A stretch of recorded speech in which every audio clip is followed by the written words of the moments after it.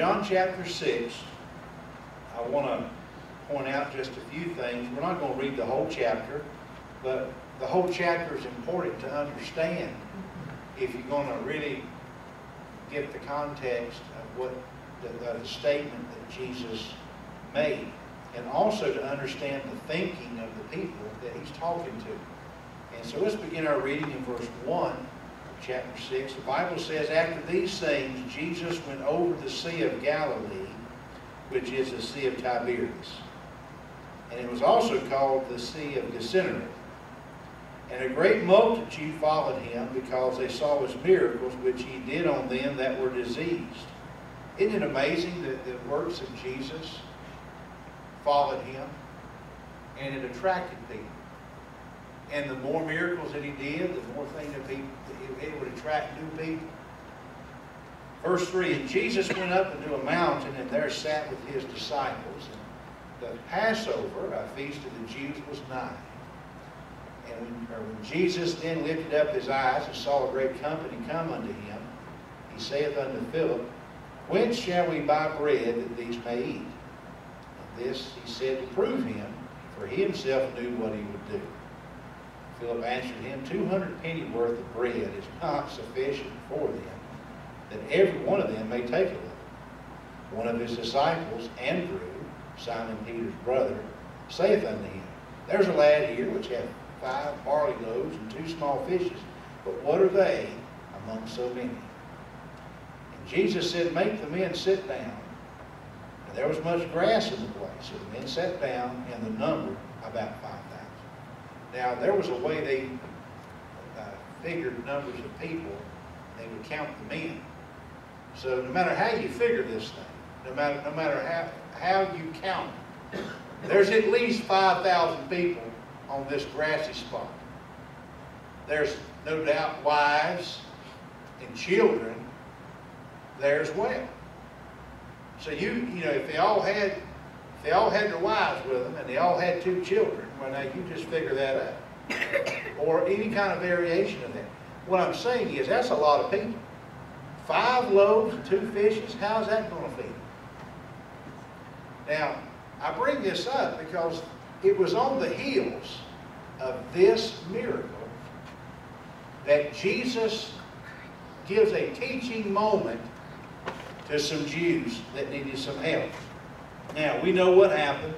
Jesus um, prays over this, and they, um, they distribute, and they take up 12 baskets uh, of leftovers.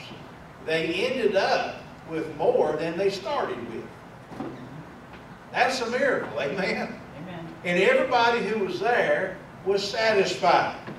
I believe the Bible says they ate till they were full. Amen? And thank the Lord that they all were satisfied. Now, I'm interested uh, in uh, jumping on down now in uh, verse 22. The day following, when the people which stood on the other side of the sea saw that there was none other boat there, save that one whereinto his disciples were entered, and that Jesus went not with his disciples into the boat, but that his disciples were gone another, gone away alone. Howbeit there came other boats from Tiberias, nigh unto the place where they did eat bread, after the Lord had given thanks. When the people therefore saw that Jesus was not there, neither his disciples, they also took shipping and came to Capernaum, seeking for Jesus. And when they had found him on the other side of the sea, they said unto him, Rabbi, when camest thou hither? Jesus answered them and said, Verily, verily, I say unto you, ye seek me, not because ye saw the miracles, but because ye did eat of the loaves and were filled. Now get this. Jesus knew their hearts, and the only reason he says you come looking for me is because I gave you bread. I gave you bread. You were hungry and I fed you. That's why you come back. He says in verse 27, Labor not for the meat which perisheth, but for that meat which endureth unto everlasting life, which the Son of Man shall give unto you, for him hath God the Father sealed. Then said they unto him, What shall we do that we might work the works of God? Jesus answered and said unto them, This is the work of God, that you work. That's not what it says. This is the work of God that you join the church. That's not what it says, does it? This is the work of God that you go out here and give to the poor. No, that's not what he said. This is the work of God that ye believe on him whom he hath, sent. In other words, to believe on the Lord Jesus. They said therefore unto him, What sign showest thou then that we may see and believe thee? What dost thou work? Our fathers did eat manna in the desert, as it is written, He gave them bread from heaven to eat. Then Jesus said unto them, Verily, verily, I say unto you, Moses gave you not that bread from heaven, but my Father giveth you the true bread from heaven. So here's the situation. You have Jews that are present that day who way, way, way, way, way, way back there, their, their ancestors ate the manna in those wilderness years, every day but the Sabbath day. Miraculously, God provided bread for them in the wilderness. Now, generations later, in a much different setting, amen, in the land of Canaan, they're sitting here beside the Sea of Galilee in a grassy spot, and they are fed till they're full of bread that Jesus gave them. And yet, the only reason they're following Jesus is because he gave them that bread. Now, these are the facts. These Jews bring up the manna. These Jews bring up that situation because they recognize the bread from heaven. Notice what Jesus says.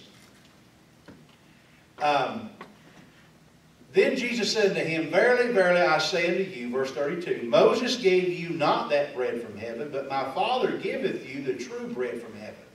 For the bread of God is he which cometh down from heaven, and giveth life unto the world. Then said they unto him, Lord, evermore give us this bread. And Jesus said unto them, I am the bread of life. If you're in the habit of underlining, I'd encourage you to underline that verse there. I am the bread of life. He that cometh to me shall never hunger, and he that believeth on me shall never thirst. But I said unto you that ye also have seen me and believe not. All that the Father giveth me shall come to me, and him that cometh to me I will in no wise cast out. For I came down from heaven not to do mine own will, but the will of him that sent me. And this is the Father's will which hath sent me, that all which he hath given me I should lose nothing, but should raise it up again at the last day. And this is the will of him that sent me, that everyone which seeth the Son and believeth on him may have everlasting life, and I will raise him up at the last day. The Jews then murmured at him, and because he said, I'm the bread which come, came down from heaven. And they said, is, it, is not this the Jesus, the son of Joseph, whose father and mother we know? How is it then that he said, I came down from heaven? Jesus therefore answered and said to them, Murmur not among yourselves. No man can come to me except the Father which hath sent me draw him, and I will raise him up at the last day. It is written in the prophets, and they shall be all taught of God. Every man, therefore, that hath heard and hath learned of the Father cometh unto me. Not that any man hath seen the Father, save he which is of God. He hath seen the Father. Verily, verily, I say unto you, he that believeth on me hath what? Everlasting life. I am that bread of life. Your fathers did eat manna in the wilderness and are dead. This is the bread which cometh down from heaven, that a man may eat thereof and not die. I am the living bread which came down from heaven. If any man eat of this bread, he shall live forever. And the bread that I give is my flesh, which I will give for the life of the world. The Jews therefore strove among themselves, saying, How can this man give us his flesh to eat? Then Jesus said unto them, Verily, verily, I say unto you, except ye eat the flesh of the Son of Man, and drink his blood, ye have no life in you. Whoso eateth my flesh and drinketh my blood hath eternal life, and I will raise him up at the last day. For my flesh is meat indeed, and my blood is drink indeed. He that eateth my flesh and drinketh my blood dwelleth in me, and I in him. As the living Father hath sent me, and I live by the Father, so he that eateth me, he even he shall live by me. This is that bread which came down from heaven, not as your fathers did eat manna and are dead. He that eateth of this bread shall live forever. These things said he in the synagogue as he taught in Capernaum. Lord, bless the reading of your word. Help us as we try to share just a few minutes some nuggets of truth about Jesus being the bread of life. Lord, grow us today, challenge us, encourage us in Jesus' name. Amen and amen. I've entitled the message this morning, Jesus is the bread of life. Now, I made an illustration out in our Sunday school class, and I want to use the same idea as we begin this morning. You know, uh, for example, this morning we can we can look at the chair that Miss Shirley is sitting in up front, and we can say, or the fact is, that chair is green in color. Okay? Now, the facts are that Shirley is sitting in a green chair. Now, others in this room can say, no, that chair is not green, that chair is white. Or some might say that chair is purple. Or in Pastor Holder's case, he might say that chair is yellow. Okay? Now, regardless of uh, what someone may think, the reality is the chair is green. The facts aren't changing. The chair is green. And you can say what you want. You can believe what you want. But the fact is, the chair is green that she's sitting on. Amen? Amen? The fact is this morning that Jesus is the bread of life. And nothing is going to change that. Now, folks might live their life in a different reality. They may choose to believe different things about Jesus. They might say, well, he's just a good prophet at best, like the Muslims teach. And they, they might say a whole number of other things about him. But the fact is, he is the bread of life. He is who he said he was. Now, as we look at this passage this morning, I want to share three truths from this section that we read uh, in reference to Jesus being the bread of life that I think will help us today. I want to encourage us. I want you to think this morning with the, with the brain that God gave you. Amen? First of all, I want you to notice that Jesus is the bread of life that came down from heaven. Now, we read that statement over and over and over and over again in this passage, did we not? Did not Jesus say that he was the one that came down from heaven? The bread of heaven is he who came down from the Father and so on. Now here's the thing. In order for you and I to really understand and really get the impact of this truth that Jesus said he was the bread of life, you've got to put yourself into that Jew's shoes. And they had just enjoyed Jesus giving them bread on that grassy knoll beside the Sea of Galilee. They literally had to have been thinking about what it must have been like for their ancestors to be walking day by day in the wilderness and getting manna from heaven every day. And they would say that Moses gave that to them. Moses got God to provide that for them. But they kept bringing up the manna that Moses gave. But they called it the bread of heaven. Now that's on their mind. But see, like Jesus pointed out, all those that ate that bread, they died. There was no life-giving power. Now, there was life-sustaining power in that manna, but it was no life, no eternal life-giving. There's no spiritual needs going to be met with that manna. That manna was meant to be a picture that would helped them spiritually. It was meant to be a picture of Jesus being the bread of life. It was meant to be a type of Christ. We understand that. But that manna itself was only life sustaining. It only helped them live another day and provide some nourishment. And it was miraculous in how it was sent. It was miraculous that every, if they carried more than what they should have, it rotted if they kept it to the next day. All except on Friday. Friday they could collect a double portion so they wouldn't have to work on the Sabbath because on the Sabbath the manna didn't fall, which was Saturday. So does everybody understand that? But there's a picture here. The true bread of life that came down from heaven is Jesus. It is not the manna that Moses gave. It is not something that some man might try to come up with. The fact is that Jesus came from heaven. Now, it's an interesting statement down there in verse number 42. 41, 42. The Jews then answered at him because he said, I'm the bread which came down from heaven. And they said, Is not this Jesus, the son of Joseph, whose father and mother we know? How is it then that he saith, I came down from heaven? You know what they're saying. They're denying the deity of Jesus. Now you know they heard, you know they heard that Mary claimed the Holy Ghost over, overshadowed her. They knew what she said. But they said right here, well, we, is not this uh, uh, uh, Joseph's son? Is not this Joseph? He's the father. See, they were attributing Jesus' birth to that of Joseph, not the Holy Ghost. They weren't believing. And they could not reason, they could not understand how Jesus could say he came from heaven if his father was Joseph and his mother was Mary. Now we know the real story. And the fact is, they knew it too. They just chose not to believe. Again, going back to the chair is green. Amen? And not yellow or white or purple.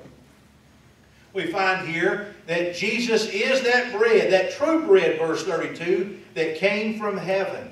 And I want you to know if you have partaken of the Lord Jesus Christ in the matter of salvation, I want you to know that you know for a fact that Jesus came from heaven. Amen? I'm so thankful that Jesus came from heaven. I, you know, heaven uh, uh is where the regal and royal Lamb of God resided. And for the Son of God to uh, leave heaven's glory, and, and God the Father gave heaven's best for earth's worst, come down here and died on that old rugged cross and was buried and rose again for us. I say amen to that. I, I thank God for that. But I tell you something. Uh, it, uh, salvation may be free to you and I, but it certainly isn't cheap. Because it costs the Father everything. But He is a true bread that came down from heaven. Amen. I tell you what, the Jews today, by and large, don't believe that. They don't, they don't understand that. But one day they will. Amen. One day they will. Now, not only do we see that Jesus is the bread of life that came from heaven, but number two, only Christ can satisfy spiritual hunger. You see, when they ate that bread out there in that, in that desert, in that wilderness area, that manna from heaven, you know what? They, they got hungry again, didn't they? I mean, they could eat it, but they got hungry again. You know what that tells me? That tells me that they never got satisfied. You know what? Generations later, by the Sea of Galilee, in the land of Canaan, we find the, the Messiah providing bread, providing loaves, taking and praying over the loaves and fishes, providing bread for those Jews, 5,000 plus on that hillside that day, right by that lake there. They had a chance to eat the bread that Jesus would bless and pray over and provide for them. But you know what? Though they got filled up at that point in time, they still got hungry again. There's still another day. There's still going to be another time where they're physically going to need something to eat. Some of y'all are thinking, man, you talk about this bread and being hungry and eating something to eat. I'm hungry and I need something to eat. Well, you know what? I am too. I'm looking forward to lunch today, amen. I'm not going to have a steak and baked potato. I'm going to have something next to it. Amen. I'm looking forward to that. But I'll tell you this Christ, the bread of life, is the only bread that will satisfy spiritual hunger. You know, inside of everybody that's lost, there is a desire, I think, that God puts there for them to want God. I, I believe that. I believe somewhere down in there, and it, it might be faint, but I believe God puts that desire there. Man's religious by nature. And there's that void in every lost person's life. There's an emptiness, there's a deadness there. And it's he's spiritually dead. And the old flesh and that old Adamic nature is religious, and he's trying to fill that void with all kinds of stuff. And you know what? They fill it with sex and perversion and money and, and drugs and alcohol and you know, all kinds of immorality and you name it, man. People try to, to fill that void up in their life. And all the while, all they need is the bread of life. Yep. Amen. That's all they need. But you find here that um, that Jesus speaks of satisfying not just for life, but eternal life. I would say that eating of that bread, providing eternal life, is pretty satisfying, wouldn't you say? I mean, I've never eaten something that I that I ate. I stayed in the strength of that for hundred days or two hundred days. I mean, I'm I can't even get through one hour without wanting something to eat. You know what I'm saying? I mean, I go home here just a little while and and and, and feel my gut. Then I'll go lay in my recliner and I change positions, and things move around. And then there's a void again. And so what do I do? I go back to the kitchen and I fill that void up. Amen. And I get back in my recliner and I change positions. Amen. And then there will be a little bit more room made. And I'll go back to the kitchen again and I'll fill that void up. And then I'll usually head to my bed. And I'll lay down there just a little while possibly. And I'll pass out. Now, you know, everybody has their own little thing. I don't do that every Sunday, but most Sundays that's what ends up happening uh, in my life. Now, I just know that when I eat something, I get hungry again. I mean, are y'all like that, or, or, or y'all are y'all super people or something? I mean, you know what I mean. But here Jesus points out to them, I tell you how satisfying that manna was. They all died. They all died. But the one who eats of the bread I give them, what's going to happen? Eternal life. Well, what work should we do? Believe, he says. Believe on me. So here's the thing. Christ is the only one that can satisfy spiritual hunger. And when you and I, whether it be in our own life after we're saved, we must come to Christ. Now, the matter of salvation is settled certainly if you've been saved, so that hunger for eternal life is dealt with. But certainly that fellowship uh, and that day by day walk with God, that hunger there, uh, uh, those that hunger and thirst after righteousness shall be filled. Hey, walk with God. Amen. But if you have a family member or a friend or a neighbor or a coworker who you perceive has a spiritual hunger, don't give them anything else but the bread of life. And his name is Jesus. Amen? Amen? If you try to substitute the bread of life with manna, they'll die. Religion will kill them, friend. Listen, uh, miracles will kill them. The manna was a miracle.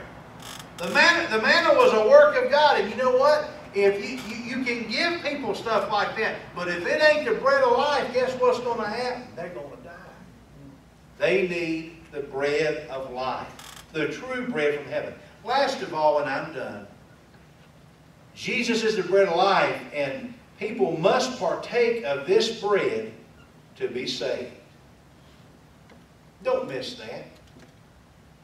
Don't miss that.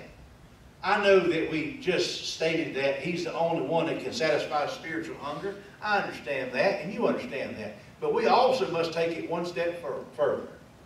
There is no substitute. There is no substitute for this. Jesus is the bread of life, and nobody is going to get saved apart from them. Nobody. They must partake. They must partake. It's amazing how when you go visit somebody, the, the, the host or hostess will say, well, listen now, now you, you eat what you want. You don't have to eat this if you don't want. You know, and so they'll pass the, the tray around or you'll walk around the buffet or whatever, and you get what you want. Now, there's modern day fast food restaurants, which there's no such thing as a fast food. It's all slow food. And uh, so fast food's a misnomer. It's slow food. And there are certain establishments here, not too far from where I'm standing, that really put the exclamation mark on slow food. I tell you, they do. But there's, there was one that had a slogan that said, have it your way. Let, let me just tell you something. You may have it your way with a cheeseburger, but you will not have it your way when it comes to getting inside of heaven's gate. Come on. Amen. Now you might like bratwurst over a hot dog, or you might like uh, banana uh, banana pudding over chocolate pudding, or you might even like butter pecan ice cream. But I tell you what, you may have it your way in those things, but when it comes to salvation, there's only one way, and His name is Jesus. Amen. That's right. And He's the only bread. I said He's the only bread. I said He's the only bread Amen. That'll truly satisfy. I've seen people try to just be good and hope for the best. I've seen people live their lives and, and they're decent folk. I'm not going to begrudge that. They have their, their mix-ups, but they do the best they can, they say. I hope I get in heaven. And man, they, they, they base it on baptism and church membership and pedigree and, and everything else. But at the end of the day, if you used to ask them, what are you really depending on? They would name everything else but the bread of life. When it really comes down to it, if it was just an our partaking of the bread of life alone, they just won't hold on to that. They got to add all this other stuff. And you know what? That, that negates it. Galatians chapter 1 makes that very clear. There's one gospel. There's one salvation. There's one way to heaven. Jesus made it very plain here. He talked about that in verse 51 about that living bread, did he not? Mm-hmm. Which came down from heaven. If any man eat this bread, he shall what? Live forever. Either that's fact or fiction. Hmm. But I go back to the fact that the chair is green.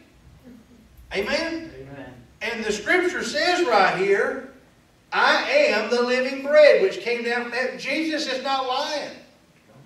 Jesus is speaking about himself. He says, if any man eat this bread, he shall live forever. Now the Jews, excuse me, and the bread that I'll give is my flesh, and I will give it for the life of the world. And he's trying to get them to understand, he's talking about getting himself a sacrifice. That Old Testament sacrifice. That's what's in view here. But they thought he was speaking about cannibalism. And they got hung up on all that. So they go on down and, they, and, and, and we read the exchange already. But Jesus doesn't walk away from it. He says, For my flesh is meat indeed, and my blood is drink indeed. He that eateth my flesh and drinketh my blood dwelleth in me, and I in him. As the living Father hath sent me, and I live by the Father, so he that eateth me, he shall live by me. Do you understand this morning? That anyone, or everyone I should say, everyone must partake of this bread in order to be saved. Amen. Now, we don't pray over no wafer and it turn into the literal body of Christ, and by eating that, we're going to go to heaven. That is not scriptural. And we don't take it to the communion cup and drink that and pray over that and turn it into literal blood and drink that, and by drinking that on a continual basis, somehow or another, we're going to uh, end up in heaven. That is not scriptural. But I'll tell you what is scriptural. Identifying with the death, burial, and resurrection of Jesus, believing on Him as my, my lamb of sacrifice, putting my faith and trust in what Jesus did for me, that's what Jesus is referring to If I understand my Bible, that's what he's referring to right here. And just as somebody might eat a loaf of bread, when you and I put our faith and trust, because Jesus said believe right over here, did he not? They asked, what, what can we do the works of God? And he said, believe. Believe. So if I'm going to believe on the Lord Jesus Christ, when I eat that, when I, when I put my faith and trust in Christ, that's as if I am eating that bread of life. And February the 16th, 1992, when I partook of that bread of life, at that moment in time, I got everlasting life. Amen. Sure did. Amen. That's what I received. And you know what? I hadn't had to have any more of that since then. When I partook of the bread of life the first time, I got it. Mm-hmm. Amen. Now I tell you what I've needed since then, I've needed fellowship. I've needed closeness with Him. Mm-hmm. But that's a different issue. The bread of life is what people need. And it's our job to tell them about that. It's our job to take the bread to them. Amen? And I hope that you will do your best this week as you go out of here to take the bread of life to folks that are hungry. Well, how do I know who's hungry? Well, you'll find out. Well, what if I run into uh, somebody and they don't want me? They don't want to talk to me. Well, somebody won't talk to you. Somebody want to listen to you. Well, I've been trying for days and weeks and months, and you know what? Just keep on. Wasn't that Adoniram Judson? Wasn't that who it was? Seven years? Wasn't that the gentleman? Never had a convert for seven years. The mission boards wanted to put him off the field. People wanted to get him come back home. If it had been today, they would have took him back home. You ain't had a convert seven years. We wasted too much money on you. You ain't called of God. Can you hear him doing that? But I'll tell you one, I think it was Judson. I can't remember which one it was. I get him mixed up with somebody else sometime. But at the end of the day, here's the deal. Here's the deal. You and I need to keep our eyes on the Lord. Amen? Amen. You and I need to take others the bread of life. Because that's what people, Blair needs the bread of life. Amen. Missouri Valley needs the bread of life. You know what I'm saying? And we need to take that to them. Now, I hope this message has helped you. I hope it stirred you up just a little bit. I hope it's encouraged you. Amen? Because I'm going to tell you what, when you eat of that bread of life, life changes. Therefore, if any man be in Christ, he's a new creature. Old things passed away, behold, all things are becoming. Amen? Every